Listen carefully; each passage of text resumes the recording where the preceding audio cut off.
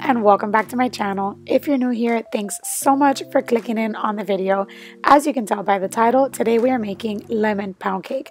This is super quick to throw together and it's perfect for Mother's Day coming up this weekend. As always, I will leave all the ingredients and their measurements in the description box below, but for this recipe you will need lemon juice, some granulated sugar, some lemon zest, three whole eggs, Greek yogurt or sour cream, a stick of unsalted butter softened at room temperature, and then in my dry ingredients, I just have some flour, some salt, baking soda, and baking powder.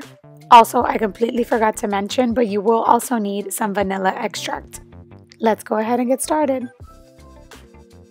So for this recipe, I used my standing mixer fitted with my paddle attachment, but you can use an electric mixer as well. A hand mixer works just fine. What you're going to want to do first is cream together your butter and sugar. So I just added in my stick of butter softened at room temperature together with my granulated sugar and I just set it on low first just to get things nice and incorporated and then I turned up the speed to high just to cream together those two ingredients. I then turned my mixer down to a lower speed and I added in my vanilla extract. If you've watched my previous videos, you know that I love the Molina Mexican Vanilla Blend. It's my favorite and I use it for all of my desserts. Not sponsored, but I wish I was. Then I went ahead and cracked my eggs into a separate bowl and added them into my mixer one by one.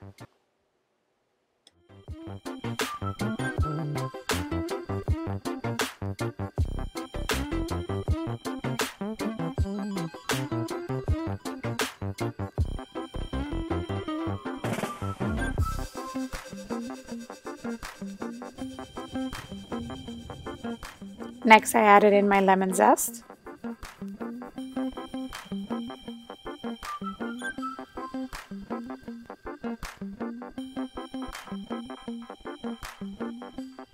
And I went ahead and squeezed my lemon into a separate container just to make sure that I wasn't getting any seeds into my batter.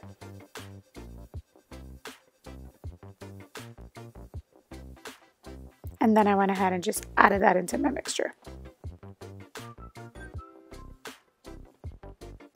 So I stopped my mixer and I gave my bowl a good scrape.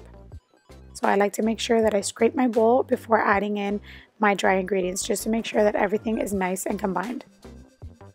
And our last wet ingredient, we're going to add in our Greek yogurt. This is plain Greek yogurt, but you can use sour cream if you wish.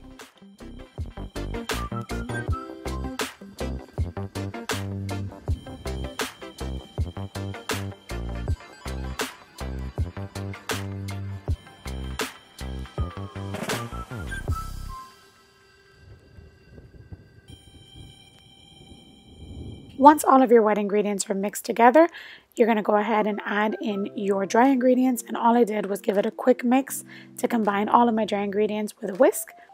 And then I just added it in in two parts. Do keep in mind that when you're mixing this together, you just want to mix until all of your ingredients are combined. You don't want to overmix this because that will alter the final outcome and the texture of your cake.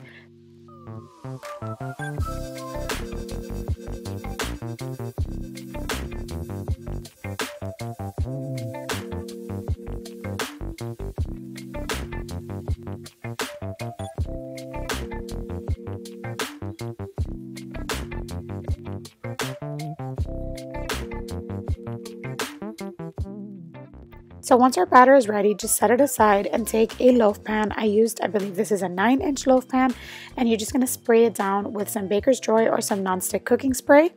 And then the next thing you're going to want to do is take a piece of parchment paper and you're just going to push it down and make sure that it covers the bottom and the sides. It doesn't have to be perfect.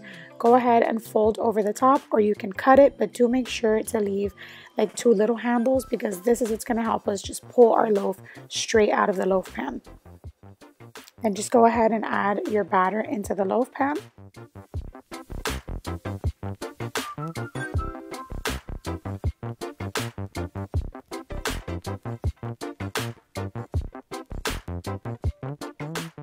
Make sure to scrape the bowl, get all your batter, scrape your spoon, and smooth out the top. Next, preheat your oven to 325 degrees, and once your oven is nice and hot, go ahead and bake this for one hour.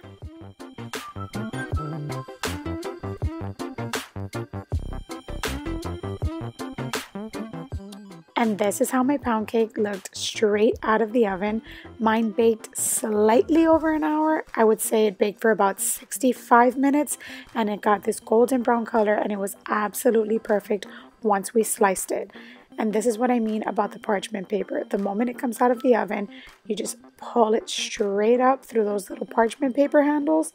And it's so easy to take out of your loaf pan and just set onto your cooling rack.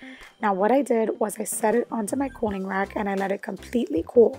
And then off camera, I didn't show this guys because it's literally so easy. I went ahead and made a lemon icing for the top. And all this is, is just half a cup of powdered sugar with the juice of half of a lemon. So the other half of the lemon that you didn't use in your recipe, you use to make your icing. It's simple as that. Take half a cup of your powdered sugar, squeeze the juice of half of a lemon, mix it together, and then you're just going to want to drizzle that or pour it on top of your completely cooled pound cake. Do make sure that your pound cake is completely cooled before icing so that your icing does not just get runny and melt off. And this is how my lemon pound cake turned out once I sliced it and iced it.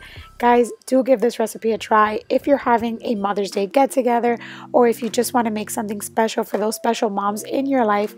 I am sure that any mom would be happy to have this treat. It is so delicious. If you do give this recipe a try, don't forget to tag me on Instagram. I'll leave it right down here. Once again, guys, thank you so much for watching. I wish you all a beautiful week, a very, very happy Mother's Day. Don't forget to give this video a thumbs up if you enjoyed it and click on that subscribe button if you want to see more recipe videos coming very, very soon. I wish you all a great week, guys, and I will see you in the next video. Bye!